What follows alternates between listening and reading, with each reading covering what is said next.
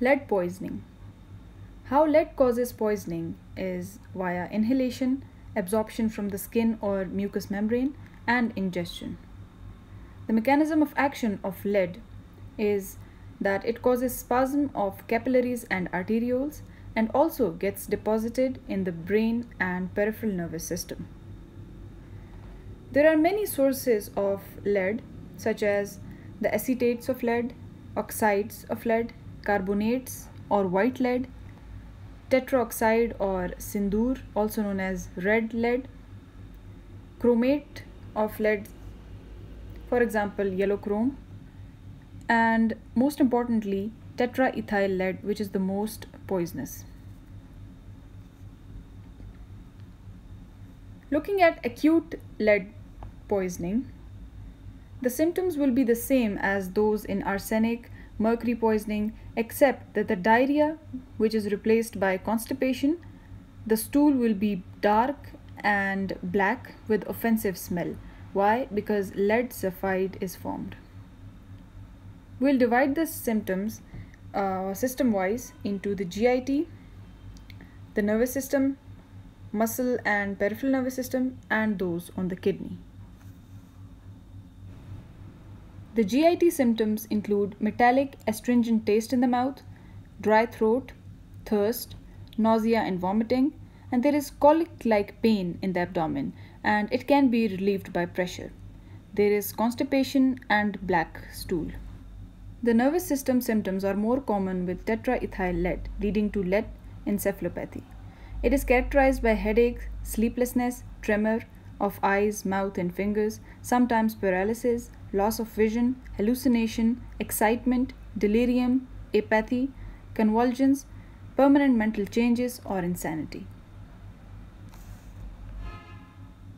The muscles and peripheral nervous system will show cramps in the legs, arthralgia, and paralysis of limbs, while the kidney will be affected by producing scanty urine.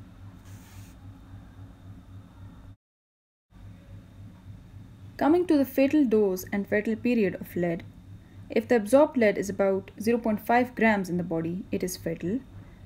20 grams of lead acetate is fatal, 4 grams of lead carbonate, and tetraethyl lead, if in pure form, only 1 to 2 drops will cause severe symptoms. The fatal period is about 2 to 3 days, and as I mentioned earlier, acute poisoning of lead is rare. Mostly, lead poisoning is chronic. Remember that. Now, if there is a case of acute poisoning, the treatment will, will involve two things.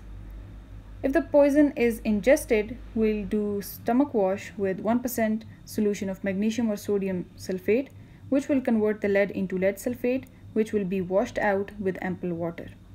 Morphine and atropine is given for the painful colic. Bowel is cleared at regular intervals to get rid of the re-excreted lead Calcium rich diets such as milk, calcium salts, vitamin D, etc., will favor skeletal deposition of lead. EDTA and penicillamine are the antidotes for lead. Dialysis, both peritoneal and hemodialysis, can be done, and the rest of the treatment will be symptomatic. If there is skin contact with tetraethyl lead, we should wash the area with kerosene within 15 minutes to remove the poison quantitatively. Unfortunately, if the patient dies, the postmortem appearances will be that of gastroenteritis and black colored offensive stool will be found in the large intestine. The gastroenteritis is manifested as congested mucosa which is eroded in patches.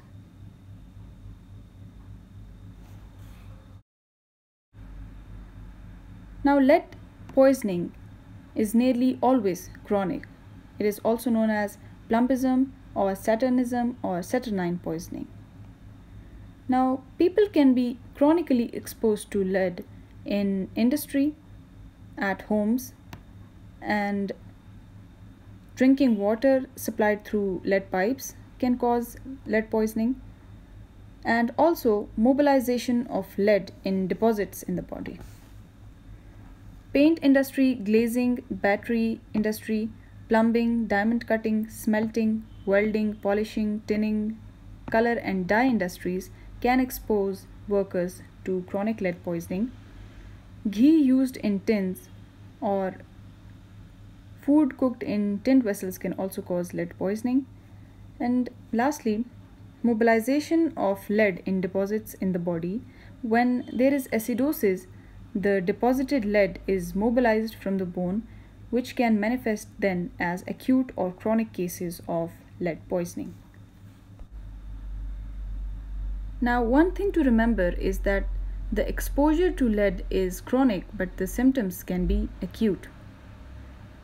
There will be pale face, anemia with punctate basophilia, lead line, colic and constipation, paralysis,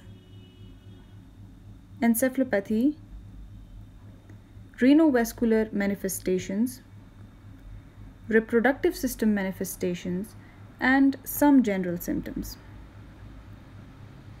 Now, the pale face is the earliest and most consistent sign. It is due to the vasospasm of vessels of the face. The blood smear will also show hypochromic anemia with punctate basophilia, which means the presence of uh, basophilic granules in the RBC cytoplasm because lead interferes with porphyrin metabolism. There will be a bluish black line due to the subepithelial deposition of lead sulfide granules on the gums at the junction of uh, the teeth and the gums. There is severe colic and constipation. The colic is of intestine, renal colic, ureters, and also uterus. And a severe constipation, severe chronic constipation known as obstinate constipation or Dry belly ache is also a sign of lead poisoning. There is paralysis, which is a late manifestation in some of the people. It can manifest as wrist drop and foot drop due to nerve and muscle atrophy. There is also lead encephalopathy manifesting as recurrent convulsions, mental deterioration, and optic atrophy. Renovascular complications will be due to hypertension because it is a vasoconstricting agent and there is also arteriosclerotic nephritis. The reproductive system in both the sexes is also affected, leading to sterility. In females, there is dysmenorrhea, amenorrhea, and abortion or dead fetus. The general symptoms will be that of weakness, anorexia, foul breath, metallic taste, vertigo, etc. How to diagnose a patient of chronic lead poisoning? Clinically, the colic, the punctate basophilia, the blue-black line on gums, the encephalopathy and palsy, the lead and porphyrins in the urine. There will also be transverse opaque bands on long bone ends and on x-ray the liver will appear opaque mainly in tetraethyl lead poisoning. How to treat a chronic lead poisoning patient? First, remove the patient from the source. And secondly, we try to extrude the stored lead. For that, we use EDTA and British anti-Lewisite agent. Their combination is more effective. They will mobilize the stored lead and it will be excreted in urine. If lead paralysis has developed, massage to the affected muscles is helpful. I don't know how. Well, in cases of death due to lead poisoning, the post-mortem appearances will be the same as the clinical picture. There will be hyperplasia of erythroblasts and leucoblasts in the bone marrow due to the anemia. There will be decreased fat cells. And for analysis, long bones teeth, nails, etc. should be preserved. The medico-legal importance of chronic lead poisoning is such that acute poisoning is rare. It is not used for homicide, although children can be poisoned accidentally by eating the paint on cribs and toys. Lead monoxide can be used by quacks for a remedy for syphilis and vermilion or sindoor used by the Hindu women can also cause lead poisoning chronically. food and water contamination can also do that. And another aspect is that red lead is also used as a cattle poison. That's all for lead poisoning.